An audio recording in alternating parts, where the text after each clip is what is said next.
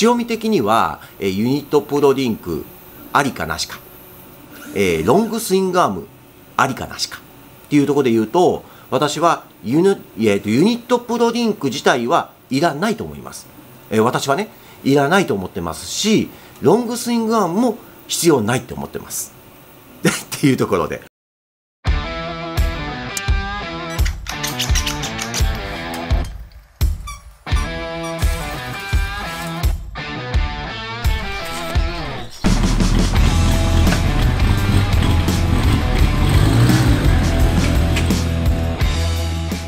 はい。皆さんこんにちは。家柄ラフト KMT ほのかファクトリーの塩見です。いつもご視聴ありがとうございます、えー、今日は、えー、ご質問でありました。ちょうどねコメントの中で、えー、質問をいただきました、えよくねホンダの SS の車両に装着されているユニットプロリンク、えこちらに関してね、え私が知っている中での情報提供をさせていただこうと思います。えー、今ですね、えー、これコミュニティの方で、掲示板の方ですね、でお伝えをしておりました、この Vlog チャンネルの専用ステッカーですね。車両用のステッカーです。オートバイに貼っていただいてもいいですし、えー、自動車のリアウィンドウなんかに貼ってもらってもいいかななんて思っております。えー、ちょっとね、私のこの Vlog チャンネルの、まあ、視聴者の方々に向けて、こういうね、ステッカーを販売させていただいております。えー、送料とそれから消費税全部込みで500円ワンコインということでお願いをしております、えー、ほぼね原価でお出しするような形になるんですが、えー、これねカッティングシートに、えプリントをしてそしてラミネートをかけたようなステッカーになります。でこれがねちょうど1 0センチぐらいの大きさですかね。縦横 10, 10センチぐらいの大きさのステッカーになります。これがね今結構ねあのー、コミュニティの方でちらって出したら、えー、何人かの方々から、えー、2枚ずつとかっていうご注文をいただいたりだとかしております。えー、これね、え概要欄の方に、え貼っておきますが、イエガーラフト .com、えこちらのね、ショッピングカート上に、えなんていうか、掲載をしておりますので、えそちらからご注文いただければと思います。でね、えクレジットカード決済の方々は、えー、もうクレジットカードの、ね、手数料も含めまして、えー、当社負担ということでやっておりますので、ほぼ原価すれすれなんですが、えー、とりあえずね、クレジットカードで決済していただいた方に関しては、えー、郵送でお送りするような形で、えー、499円という設定になってるんですかね。はい。で、注文してください。で、すいません、代引きの場合は、これごめんなさい、一般的なそのお荷物として、えー、要は発送するほか手段がありませんので、えー、代引きの場合は通常送料っていうのが880円、えー、かかってしまいます。えー、そこのあたりね、えできるだけ、えちょっと代引きを指定しないようにしていただければありがたいななんて思います。はい。ということで、え今日のね、ちょっと話題の、えユニットプロリンクということで、えーと、私がね、それこそ ST600 をやっていた時に、え初代のユニットプロリンクが発売されました。えー当時ね、一番最初に ST600 で使っていた車両は、えー、CBR600F4i という、えー、F4 っていうね、あの、モデルのインジェクション仕様ということで乗っていました。それはね、通常の、えー、リンクを使っていた、えー、車両だったんですけど、その後の、えー、03年ですね、2003年型の CBR600WR、えー、こちらから、えー、そのユニットプロリンクというのが採用されました。で、ユニットプロリンクっていうのは、ちょっとね、特殊な形状っていうか、まあまあ、ホンダのアイデンティティですよね。片持ちのプロアームを、えー、まあ、プロアームはでもエルフか。なんで、プロアームはまた違うかもしれないですけど、あの、とりあえずね、ホンダのアイデンティティということで、えー、出てきて、で、今もなお、えー、生産されているシステムということになります。で、このシステムのね、一番大きなとこっていうのは、まあ、ちょっと、言葉で言うと、えー、曖昧っていう言葉が一番いいのかな。はい。ライダーに、その路面のね、ギャップだとか、それからね、リアタイヤのその滑りだとかっていうのを伝えにくい構造体っていうことで、これね、えー、1998年に、えー、ヤマハの YZF-R1 が採用したロインロングスイングアーム、ロングスイングアームにその付加するような形のシステムっていうことになりますね。で、ロングスイングアームに関しては、要はリアのストロークに対して、要はね、ピポットの角度変化が少ないっていうのが利点で、これもね、リアの、えー、トラクション抜けだとか、そういうね、こう挙動を少なくするために、まあ、採用されたシステムっていうことで、ちょっと私はあんまりどうかなって思うんですけど、えー、ロングスイングアーム化、えー、昨今のね、オートバイほとんどね、そのロングスイングアーム化っていうのがどんどんどんどん推し進められているような車両になります。それによって、えー、エンジン自体は三角形のね、え、軸を持つエンジン、要は前後長の短いね、あのトライアングル状の軸を持つエンジンに変わって、よりコンパクトになって、よりピポットの位置が前に来て、スイングアームが長くなってっていう形になっています。その、えー、特性をさらにこう増幅させるために、まあ、ユニットプロリンクっていうのが、まあえー、ついているということで、ちょっとね、えー、原車もね、確認しながらお伝えしていこうと思います。ちょっとね、移動しましょう。はい、えー、それではですね、いつものえー、GSXR1100 をベースとした、えー、当社のね、コンセプトバイク Y63 のところへやってまいりました。で、このね、今リア周りを見ていただいてるんですが、これね、一般的な、えー、ショックのマウント方法をとっています。スイングアームピポットに対してスイングアームが取り付いて、えー、スイングアームに、これね、えー、トルクロッド、要はリンク、リンケージのね、末端をここでサポートしております。で、え、リンク自体は下についていて、え、リンクのね、え、先端はフレーム側に装着されています。そして、そのリンクに、リンケージの方にね、えショックユニットのロアマウントがついていますね。で、アッパーマウントがこちらです。ここ。で、え結局ですね、フレームの一部にアッパーのマウントがついています。はい。これが一般的なものですね。スイングアームの上下動に対して、トルクロッドを経由して、リンクプレートが動き、リンクプレートに装着しているリアショックに力が入力されて、フレーム側で受け取るという構造になっています。これがね、一般的なリアのショックユニット。えー、川崎さんもヤマハさんも鈴木さんも基本的にはこういう骨格を持っているショックユニットとなります。これがまあ一般的ですね。はい、えー、そしてですね、これがちょっと古いですが、えー、2007年式の、えー、CBR1000WR。たまたまね、ちょっとね、中古車両で入ってきたものなので、えー、これをね、題材としてお届けしようと思います。えー、まずですね、先ほどの Y63 と一緒で、スイングアームピポットに対してですね、スイングアームが取り付いています。で、今のね Y63 と比べていただいてもスイングアームかなり長くなっているのが見えると思います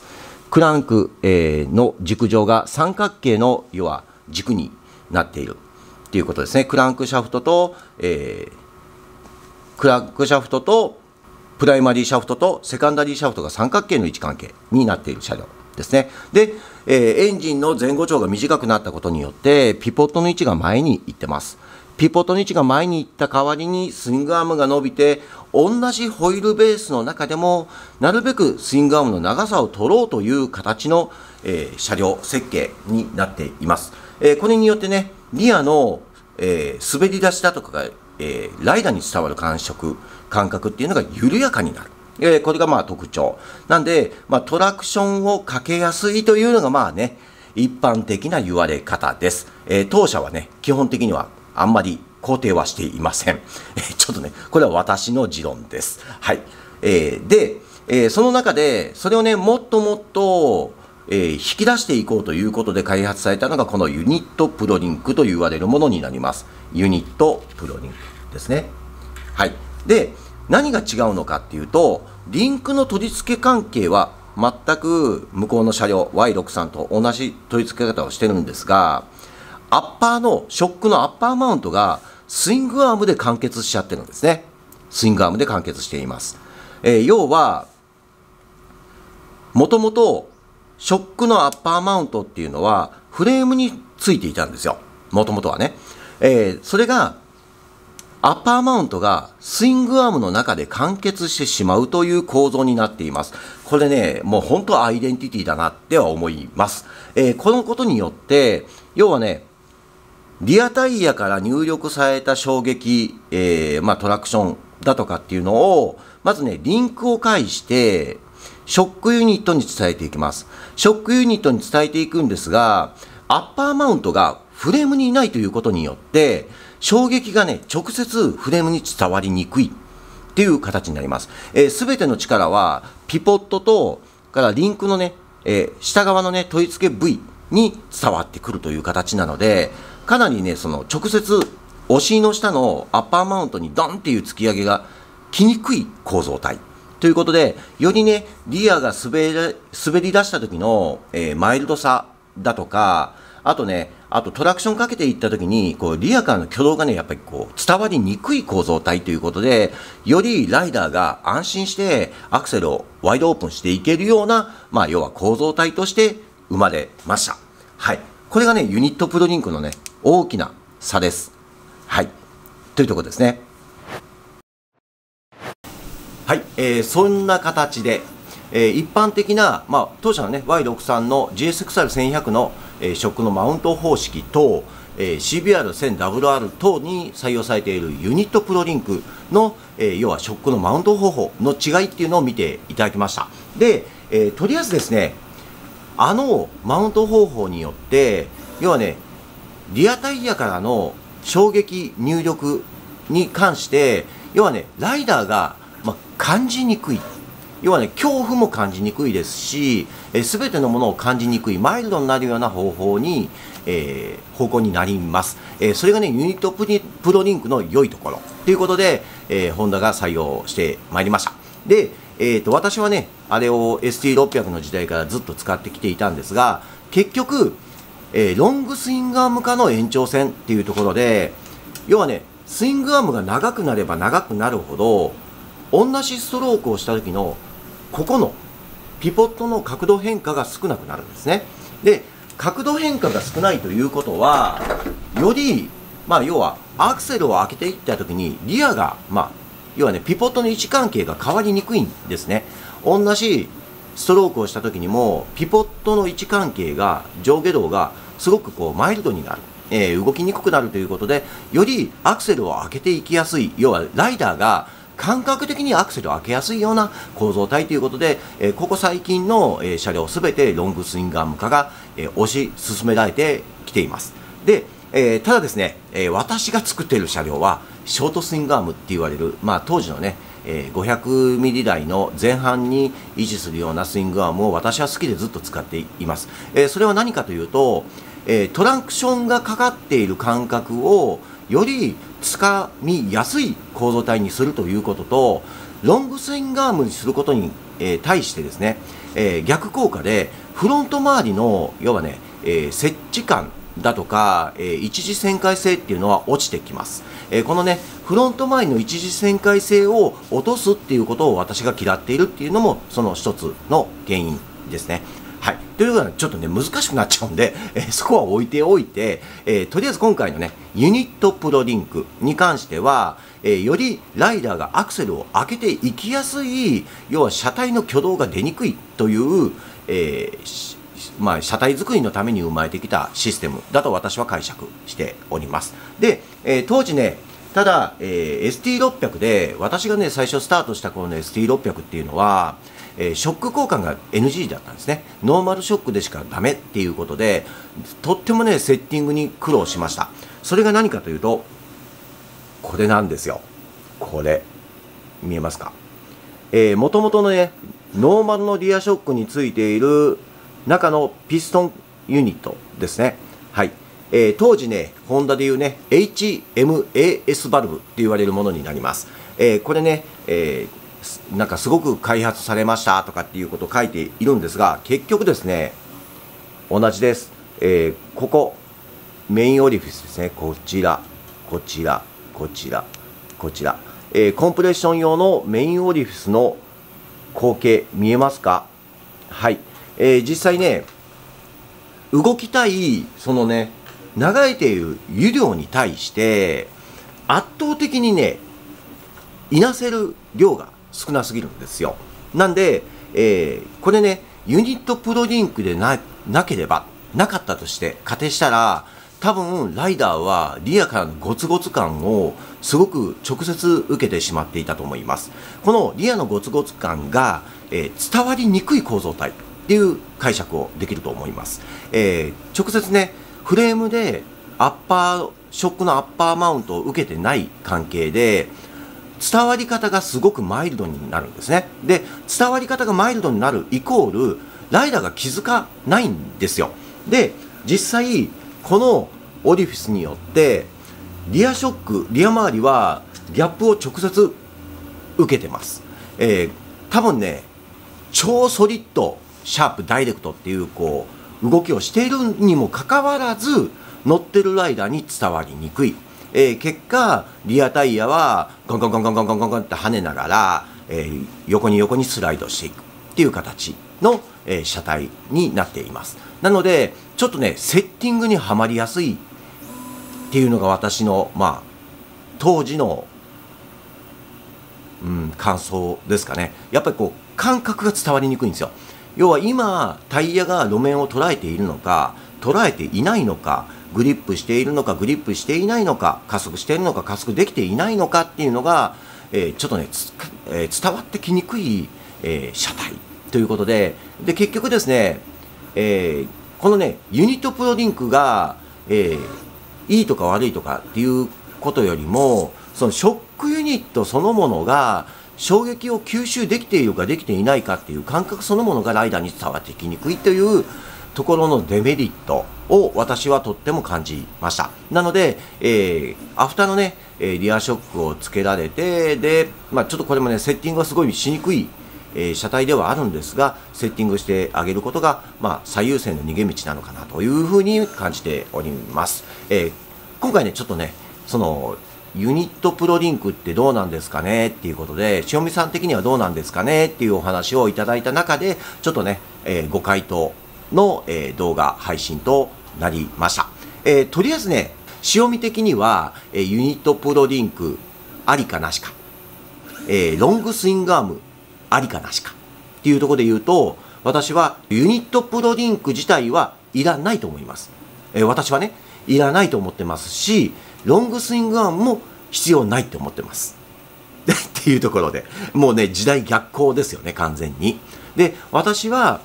フロントエンドから起きるその一時一時旋回性それから、えー、リアエンドから、えー、誘発されてフロントに影響する二次旋回性っていうところを重視するっていうところでよりハンドリングパフォーマンスを高めるためには、えー、私はショートスイングアームの方が好きです、え、車体全体でその、え、トラクションをかけるっていうことには車体全体できっちり対応する。そしてその車体姿勢の変化っていうのをジオメトリーできっちり制御する。ということで、えー、よりね一次旋回性二次旋回性を高めるための、えー、車体セットアップが私は大事だと思っております。なのでね、えー、ああやってね、えー、GSXR1100 って言われるね車体を使って、えー、セットアップを行っております、えー、実際ですね今の現行車と、えー、スイングアームやフレームの長さ比べた時に大きな差が、え、見えると思います。でもっと細かく突き詰めていくとあこの方が、え、車体にとってはいいんだなっていうのがちょっと分かっていただけるような車体。ということでこれはねまた、えちょっとねあのノウハウすっごい詰まったところなので、えー、ゆくゆくね、追って、えー、メンバーシップの方々には向けて、これご説明していこうかななんては思います。えー、そんな感じで、え今日はね、とりあえず、ユニットプロリンク、え塩見的にはありなのかなしなのか。ユニットプロリンク、塩見的にはありなのか、なしなのかっていうところで、えお届けをしてまいりました。えそんな感じで参考になったでしょうか。はい。また、えよろしければ、グッドボタン、そしてチャンネル登録もよろしくお願いいたします。じゃあ、また次回の動画でお会いしましょう。バイバイ。